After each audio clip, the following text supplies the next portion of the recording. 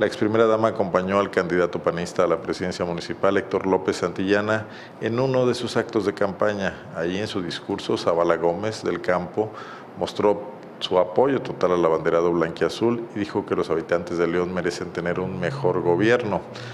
La postura se mantuvo posteriormente en una entrevista cuando la esposa del expresidente Felipe Calderón señaló que el abanderado panista tiene calidad como persona y como político a pesar de expresar su apoyo a López Santillana, cuando fue interrogada por su relación con el candidato ahora de la coalición PRI Verde Panal, José Ángel Córdoba Villalobos, Margarita Zavala evitó hacer cualquier tipo de comparación.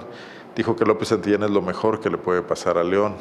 Cuando se le preguntó si la calidad del panista es mayor que la del médico a la que, como todo mundo sabe, él promovió, como ella promovió como secretario de salud, se mostró evasiva.